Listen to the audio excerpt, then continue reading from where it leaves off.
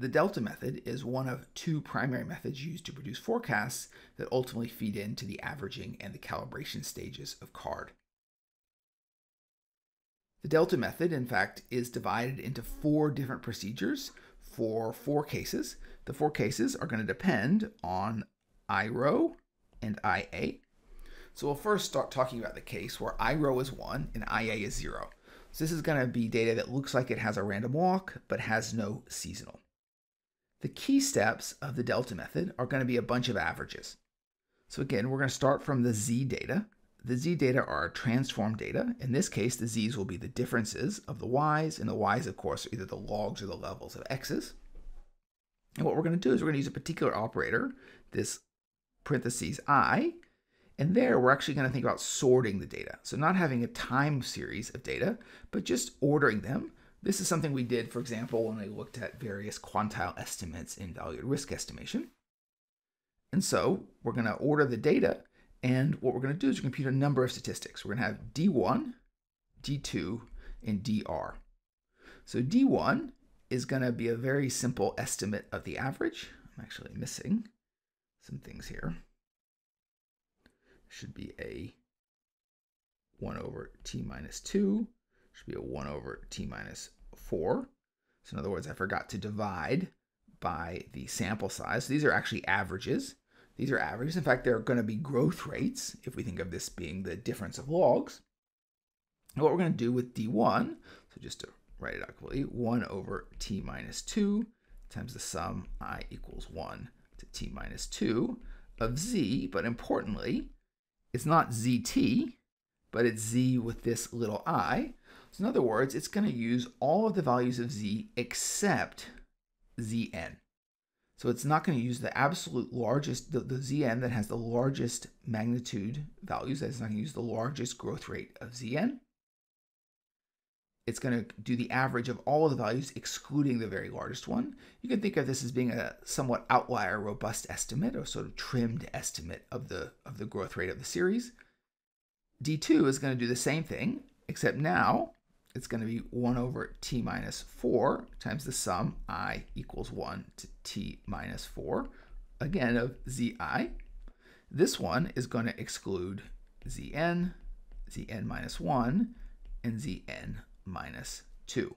So of course we know that D2 is going to be in some sense even more robust because it's going to leave out the three largest in magnitude values of z when computing the trend. So these this sort of simple estimates are going to be just average. They're going to be like they're going to be like trends or growth rates. And then finally, the third one we need is going to be DR, where R is going to be for recent. And there we're just going to take the final six observations. Note here importantly that the it's not I anymore, it's actually T. So now we are looking at the actual six most recent time series observations of ZT, that is of the growth rate. So we want the final six that are available. There's a rule of thumb they use if t is less than 6, if you have a particularly small sample, then you would simply set these all equal to d1, but I don't think we're going to see that in anything we try. So we have d1 is the average excluding the largest in magnitude change, d2 is the average excluding the three largest in magnitude changes, and dr is the average of the six most recent changes. So we're going to start by computing dm, which is the trend, as the usual way. In fact, just as the average of the z's. So the actual starting point is just to assume that the average is a reasonable estimate of the trend, but then we're going to robustify it. We're particularly going to robustify it using this, this new operator, which is called the signed minimum of A and B. So it's going to be the minimum of A and B times the fact that the sign of A is equal to the sign of B. So if the sign of A and the sign of B are both positive, then it's just the min of A and B. However, if A and B have different signs, that is one thing is positive, the other is negative, then it sets it to zero. And again, you think of this as being a robustifying step, that if you have some disagreement between growth rates, then you're just going to assume the growth rate is zero. Additionally, if we start, so we start with dm, if t is larger than 2, again, this should typo there, that should be 2m plus 1. Then we're going to define a new sort of way to estimate the growth rate, which is going to be ds, which is going to be m inverse times the seasonal difference of zt. So we first start by writing delta m of zt. That's the average, but of course that's going to be equal to zt minus zt minus m. So we want to divide that by m inverse, multiply it by m inverse to make sure that it's sort of the average for a single year. And then we're going to simply sum t equals m to cap t of these. We divide this by t minus m. So in other words, we're taking the average of the m period differences. So it's a sort of year on year. If m was 12, you can think of it as a year on year growth rate, but average to monthly, which is what the m inverse does there. And then just taking the simple average of those. And this is just an alternative measure of the trend. But then we're going to apply this sign min to get the trend estimate is going to be the sign min of either dm, which is the overall mean monthly change, or ds, which is the one that's defined using seasonally difference data. So this is going to be a robustified mean that will, we always know that we'll take the smaller of the two. And again, it may already be zero if you get different signs for these two estimates. We're then going to continue to robustify things by taking dr star, so r star was the recent growth rate, and defining it as, again, the sign min of the dr, which was the six most recent growth rates, and dm, where dm is either the z bar or possibly comes from this sign min there. And so once we have that, we're actually done. So the entire forecasting procedure without seasonalities is going to depend only on trend. That is, there's no autoregressive, there's no time series dynamics in this delta method. It's just going to be a very basic trend forecast. The only thing that makes it not basic is that it uses a lot of robustness to sort of find the smallest plausible trend. So it doesn't, it's not looking, in some sense, it's, it's really worried about over forecasting the trend. So the one step ahead forecast of yt is just going to be yt plus the sign min of either dr star or d1. So this is going to be the one step ahead forecast.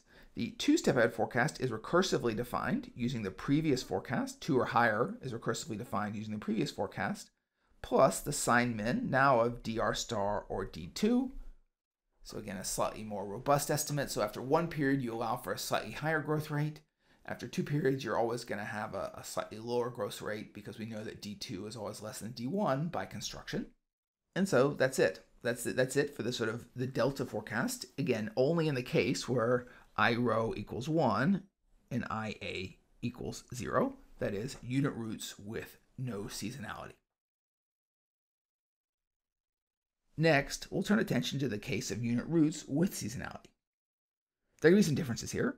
So instead of relying on the monthly data, example with when you had monthly data, we're going to use annual means to construct D1, D2, and DR. So the annual mean, again, thinking of this matrix that we defined before, where we had sort of, you know, ZT all the way through ZT minus M plus 1, and lots of rows that sort of look like that.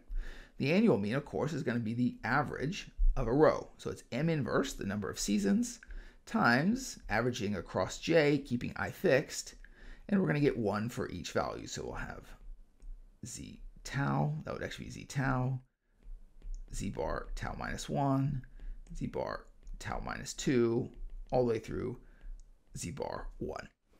So we're going to have tau of these, and these are going to be the inputs for estimating the growth rates where we just averaged across each row. This is some of the sense that this matrix structure is particularly useful here. We're then going to compute it, you know, compute D1 and D2 using the ordered values of Z bar I. And we're going to compute DR using the same idea here. Of course, instead of T, it's now tau. We simply use the six most recent annual growth rates. And again, now we're potentially going to have the problem that if tau is less than 6, then we do need to use this rule. This will actually happen because tau will only be 6 if we have at least 6 years of data, and it's possible we'll have shorter time series than that. The forecasts themselves are very similar to what we saw before. In fact, the first part of both of the forecasts is exactly the same.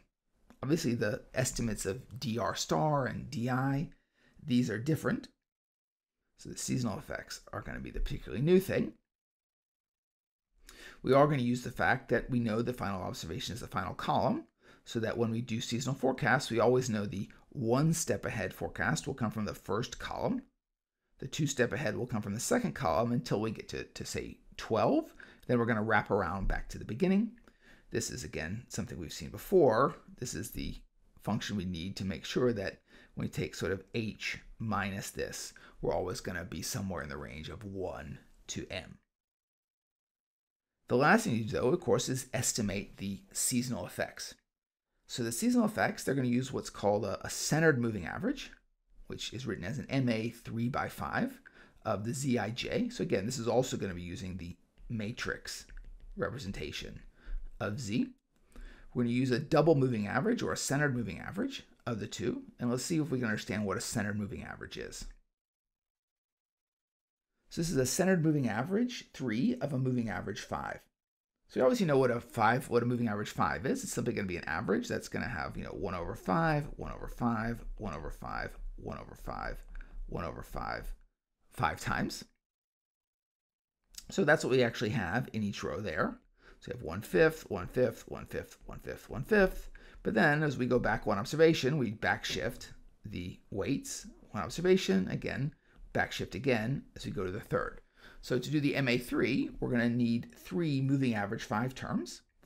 So we're then going to assign weight one third to each one of these terms there. And if we just multiply all the weights and sum down columns, we can get the weights on front of each of the observations. And we'll see that those weights are obviously one third times one fifth, one third times the sum of two of one fifths, one third times the sum of three of one fifths, and so on. So in other words, just we can easily see what all those weights should be. So you have one fifteenth, two fifteenths, three fifteenths, three fifteenths, three fifteenths, two fifteenths, and one fifteenth. So you have a trapezoidal structure to the weights. And that's what you get when you multiply everything out. However, you know, we can see that tau is our last row. We don't have any data for tau plus 3, tau plus 2, or tau plus 1. So the solution there is to assign all of that weight onto the final observation. So that means we're going to take the final three weights, which are all out of sample, and assign those to the final in sample weight. And so when we add all that up, we see the effective weights of this MA 3 by 5 are going to be 9 fifteenths on the last value, then 3 fifteenths, 2 fifteenths, 1 fifteenth. So it still weights the most recent value very heavily, but it does do a limited amount of averaging across the three previous values from this matrix. So once we have these averages, the last thing we need to do is we need to simply demean them by the average of the averages. So when I want to actually get the estimate I'm going to use for forecasting, that is S hat J, I'm going to use S star J. S star J comes from the MA 3 by 5. But then, of course, I'm going to have 12 of these for monthly data. And then I'm going to demean these by the average of those. And this is just to take out any level effects in the seasonality. So the seasonality doesn't have mean zero. Then what I want to do is I want to make sure I just remove the average effect of seasonality so we get the deviation from the long run average. So this is just a simple average of these SJs. And those are my estimates. So finally, when I finally have these values here, I would go back to my forecasting model and I would simply plug them in as needed. So the forecasts again are, are, are, very straightforward. The only really key difference here is we obviously have to estimate the seasonal effects. The other thing we do is we estimate all of these other quantities from D using annual data. So we use annual data for D1, D2, and DR, and that will save us. That will that's needed because when we have seasonalities, we have annual periods in the data, and so we want to sort of avoid picking up that. We want to leave the seasonal effects to the seasonalities.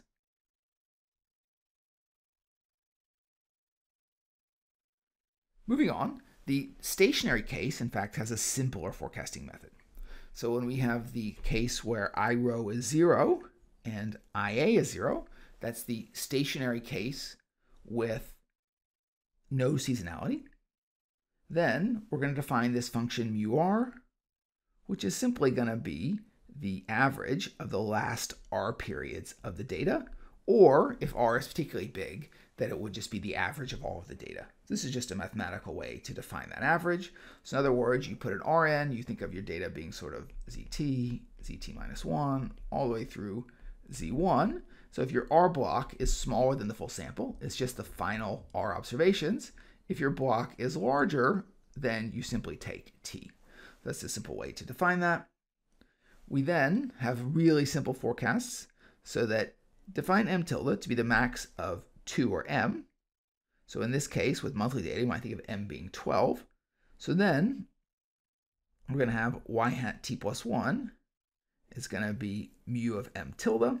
y hat, so in other words, is just the simple mean. The forecast is just a mean. Again, no autoregressive or other dynamics of the model. If we want to go more than one period ahead, so we take the average of the mean of the last m observations and then 6 times m tilde. So for example, with monthly data, this might be 72 and m tilde would be 12. So we take an average of 12 months of data and 72 months of data, and that would be our forecast for the mean. Very, this is the simplest forecasting method of any of them when you have stationary data without seasonality. When we have stationary data with seasonality, when we have stationary data with seasonality, that is i rho equals 0, ia equals 1, then we're going to use an MA as well to compute the seasonality. The difference here is we use an MA 7 cross 5. So it's a larger moving average. And again, this reflects the fact that we believe the series is broadly stable. And so we're less worried about using local data and we're happier to use longer data. So when you actually work out what the MA 7 by 5 is, using the intuition we developed a few slides ago, you'll see that the weights have this structure here, 20 over 35, and then 5, 4, 3, 2, 1 over 35. So these have a slightly longer tail, and they have slightly less weight on the most recent observation, but very similar structure. You know, probably would make much difference if you used the 3 by 5, but they recommend a 7 by 5. We then use again annual data, Let's call this mu sub a of r. To do our forecast, so again, we define zi to be the row-wise average, thinking of this matrix of data from, you know, started with zt all the way through zt minus m plus 1. This is something we've seen now many, many times. Simply take the z bar tau there, z bar tau minus 1, so on all the way through z bar 1. So we use the annual average there to be this function here. And again, this is the same idea there. You just use the minimum of tau or r observations, whichever is smaller. Then the forecasts for the one step ahead is just the annual average for one period plus the seasonality you estimate for the first period. The H step ahead forecast is going to be half of the one year and the six year average, plus, again, the seasonality estimate you have for the final period. So the delta method has, in fact, four special cases, one for each method, whether it's integrated or has a seasonality. And at the end of the day, all the forecasts are simple time trends plus seasonalities. There's no cyclical component included in the forecasts. This makes them particularly simple to compute, although one has to be very careful in estimate in implementing although one has to be very careful in implementing the steps. The trend is estimated in a highly robust method, and all of these rules are ultimately going to shrink the trend towards zero. And each one of the cases has its own special forecasting method, and so it's important to get these preliminaries right.